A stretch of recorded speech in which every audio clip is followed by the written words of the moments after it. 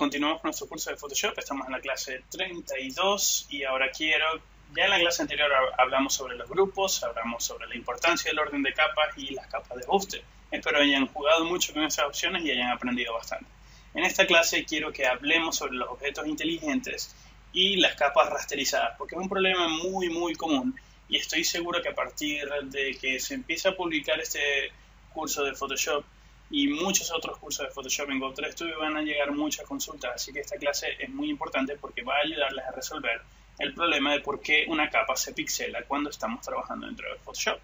Entonces, en primer lugar, y voy a hacer una, una acotación, traten de trabajar con capas de gran tamaño. Si obtienen una imagen de referencia en Internet y la imagen es muy pequeña, obviamente cuando la inserten en cualquier trabajo en el que estén trabajando, pues probablemente cuando lo intenten ampliar esa imagen, no se va a ver muy bien porque se va a pixelar.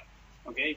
Fuera de este consejo, vamos a abrir el archivo que viene incluido en esta clase. En la descripción de este video está el archivo, lo pueden abrir y lo pueden descargar. Cuando lo descarguen van a obtener o van a ver algo exactamente como esto. Esto es un banner de publicidad que pueden ver ahora si entran a go3studio.com. Apenas entran en go3studio.com y, en esa página de inicio van a ver algo como esto. Este es un banner de prueba que está utilizando en ese momento para promocionar la tienda de la escuela, que es un sitio donde pueden descargar archivos gratuitos. Entonces, quiero que hablemos un poco sobre estos iconos que estoy colocando acá.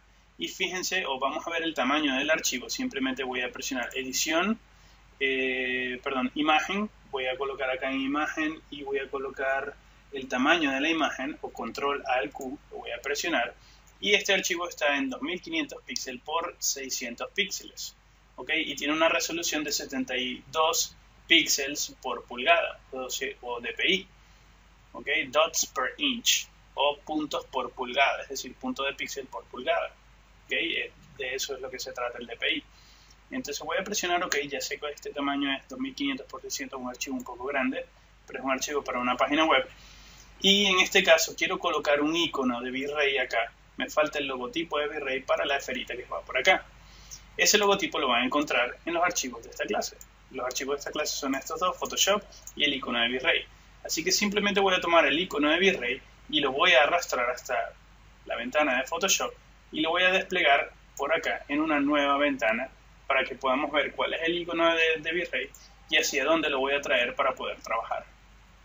Entonces, nótense que el icono de, de Virrey, si presiono control al Q, o en lo que es lo mismo, si me voy a edición, eh, perdón, imagen, eh, tamaño de la imagen, puedo ver que este icono está a 300 píxeles por 300 píxeles y tiene 72 de resolución.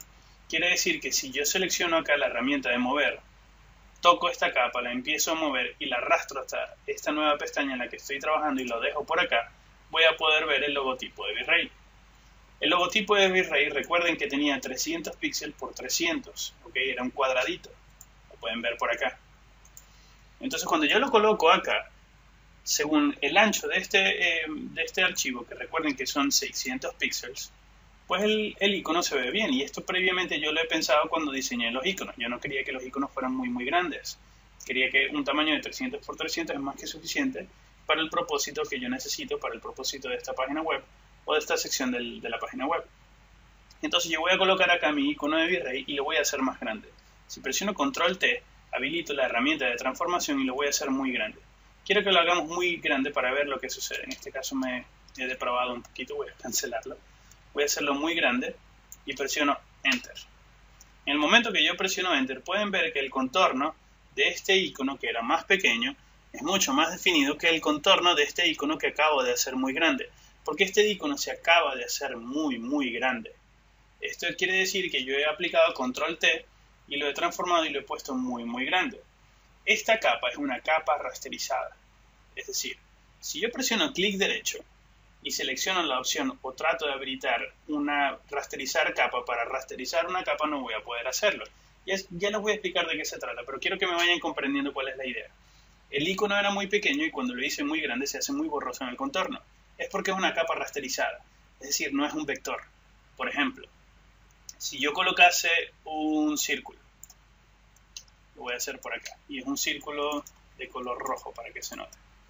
Fíjense que esto es un vector, y lo hablé en la clase de vectores. Son vectores, son nativos de, de Photoshop. Es decir, cuando yo presiono Control T, veamos bien el contorno de la circunferencia del círculo.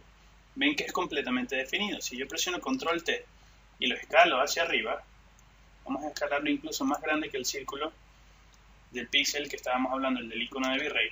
Presiono Enter y me acerco al contorno. Pueden ver que el contorno del icono es muy difuso, pero el contorno del vector sigue siendo definido. Lo voy a traer por acá. Fíjense, contorno definido del vector y contorno difuso de la imagen. ¿Por qué el vector sigue siendo un contorno definido? Es precisamente por eso, porque es un vector, no es una imagen. La data de esa imagen es un vector. Voy a suprimirlo ahora, ya no lo necesito. Les voy a explicar esto con un ejemplo muy, muy clave. Voy a apagar nuevamente esta capa, voy a encender o regresar a mi capa anterior y lo voy a volver a arrastrar a la capa en la que estoy diseñando. Y supongamos que tengo este icono y ahora quiero que el icono de Virrey sea muy pequeño. Voy a hacer súper pequeñito y presiono Enter. Al presionar Enter he cambiado su tamaño y ahora el icono de Virrey es muy pequeño. Obviamente su contorno es definido porque lo hice muy pequeñito. Pero fíjense que lo hice primero muy pequeñito y ahora presiono Control T y lo vuelvo a hacer más grande y presiono Enter. Y pueden ver que ahora el icono se ve incluso muchísimo peor que el otro. Lo voy a dejar por acá y voy a encender el otro que tenía antes por acá. ¿Se acuerdan de este que coloqué primero? Este simplemente lo coloqué primero y lo hice más grande. Al hacerlo más grande hice que su transformación pasara de un tamaño original a un tamaño muy grande y obviamente Photoshop no interpreta bien estos píxeles y los difumina. Photoshop está haciendo lo mismo en este caso. Yo lo hice muy pequeño primero y el Photoshop dice, ok, estás tomando una imagen de 300 píxeles por 300 píxeles, la estás haciendo muy pequeña dentro de este archivo, de esta plantilla, muy bien, yo te voy a mantener el contorno definido porque tengo en mi poder mucha información sobre esos píxeles eh, que originalmente eran de 300 por 300 y yo escaladamente o, proporcionalmente los estoy haciendo más pequeños y por lo tanto el contorno te lo voy a hacer definido. Ahora, cuando le dije esa imagen pequeñita que se hiciera grande otra vez, Photoshop dice, claro, yo te lo voy a hacer porque es un comando que tú estás haciendo. Sin embargo, esa imagen pequeñita, como no es un vector, sino es una capa rasterizada, es una imagen rasterizada, y aquí, aquí es donde está la clave, como es una imagen rasterizada, cuando yo la haga grande, yo como Photoshop no le puedo dar un contorno definido porque esa información la perdí. Porque yo no recuerdo esa información. Cuando tú tomas esa imagen y tú tomas eh, eh, em, esa imagen y la escalamos a un tamaño mucho más pequeño, Photoshop transforma todos esos píxeles grandes y los ajusta a esa resolución más pequeña para que el contorno sea definido.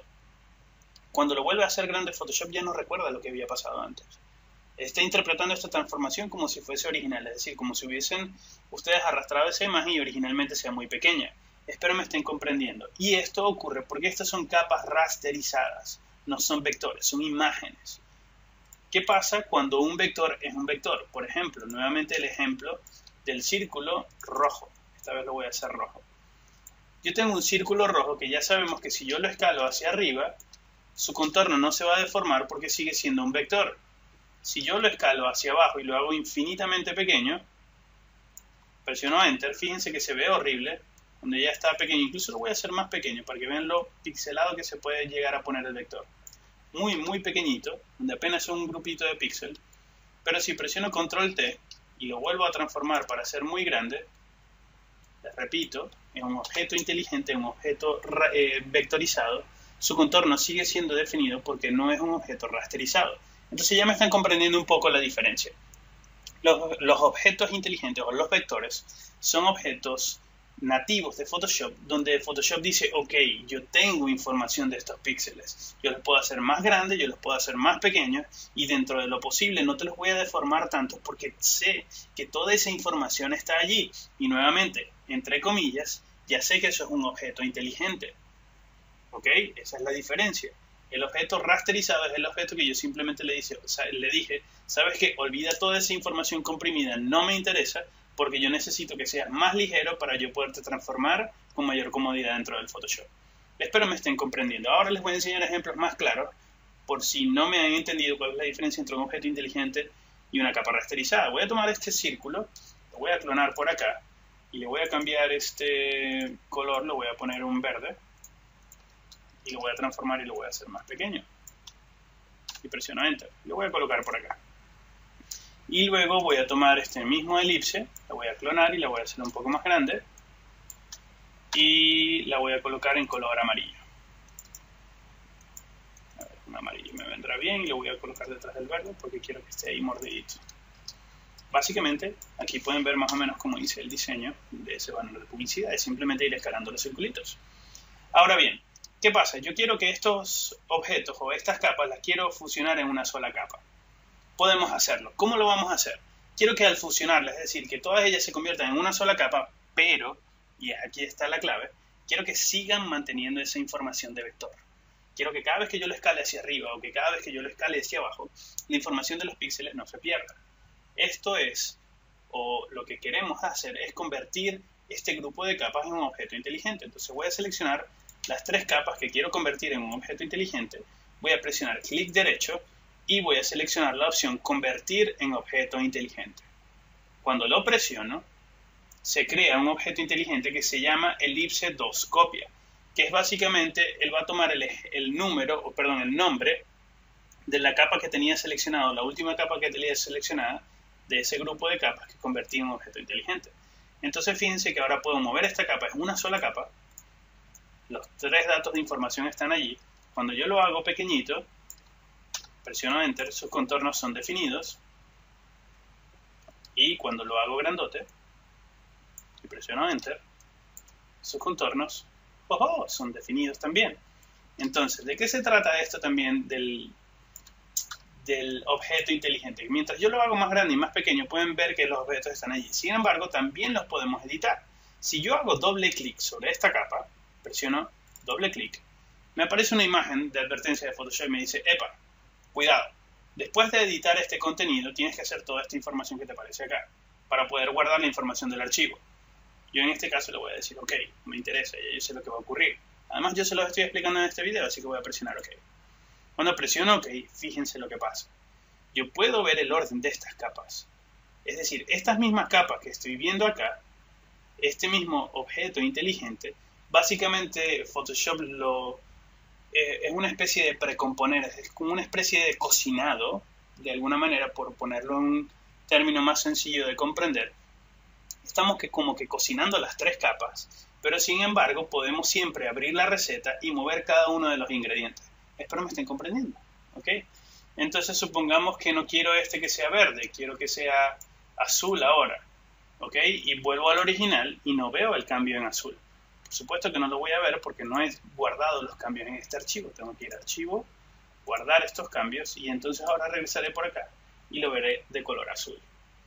Importancia de trabajar con objeto inteligente. También puedo cambiar el orden de estas capas. Por ejemplo, el azul lo puedo enviar al fondo y nuevamente no veo el cambio ahorita, lo voy a ver simplemente hasta que le doy archivo, guardar, y cuando le doy guardar el cambio se hace automático en el objeto inteligente. Entonces esto es muy interesante cuando estemos trabajando con proyectos eh, en los que tenemos que repetir muchas cosas. Por ejemplo, cuando estamos colocando la firma de nuestro trabajo en una imagen, cuando estamos incluso haciendo maquillaje, cuando estamos haciendo eh, fotomontaje, sobre todo para la edición de imágenes eh, que tienen que ver con arquitectura, o con urbanismo o con publicidad para, para eventos gubernamentales, donde se utilizan muchas imágenes aéreas y mucho montaje para hacer que las imágenes se vean mucho mejor, pues es muy sencillo y es mucho más cómodo trabajar con objetos inteligentes, ya que me permite precocinar todas esas capas en un archivo que yo puedo mover libremente por acá y luego si no lo deseo lo puedo apagar o lo puedo encender y si hay algo que quiero cambiar acá pues no tengo acá una cantidad excesiva de capas, sino que simplemente vuelvo al archivo base y lo puedo seguir modificando por acá.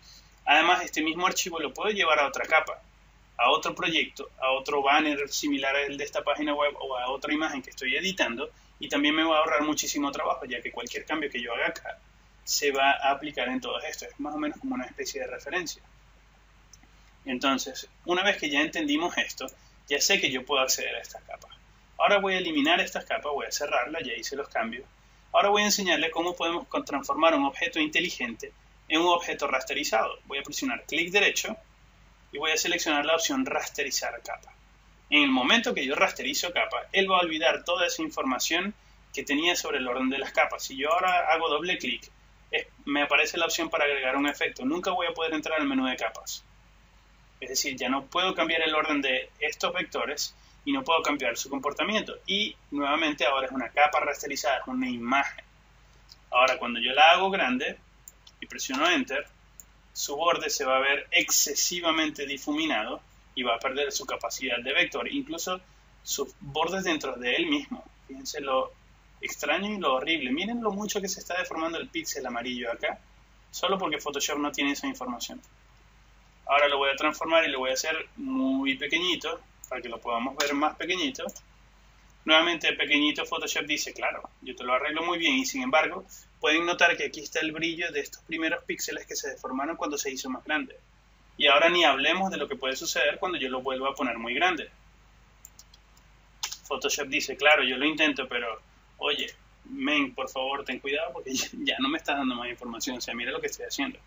¿Ok? Entonces espero me estén comprendiendo. Básicamente, y volviendo ya al ejercicio que teníamos que hacer, enciendo la capa, esta no obviamente, enciendo esta que estaba más grande y la voy a hacer más pequeña porque la voy a ajustar donde va a ir la publicidad del logo de Virrey. La voy a colocar en posición, la voy a hacer un poco más pequeña y la voy a rotar presionando por acá y presiono Enter y ya tengo lista la publicidad que va a ir para mi página web. Entonces, básicamente de esto se trata. Esto es la importancia de trabajar con vectores, la importancia de trabajar con objetos inteligentes y la importancia de trabajar con capas rasterizadas. Espero esté muy, muy claro. Ya saben que si tienen alguna duda pueden utilizar los comentarios que aparecen en la parte de abajo del video de YouTube si lo están viendo en YouTube y si lo están viendo en la página web de la escuela. En la parte de abajo también hay una sección de comentarios. Ustedes pueden dejar ahí su consulta y con gusto la detectaré, la leeré y se la responderé para ayudarles en su proceso de formación.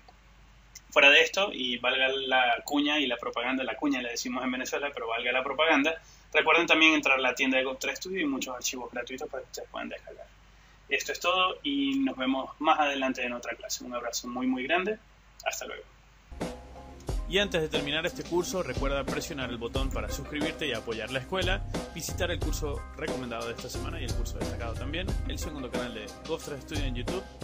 Y para tus dudas y asesorías, recuerda que tienes y dispones de las cuentas de Ghost Studio en Facebook, Twitter y Skype. Esto es todo por este video. Hasta luego.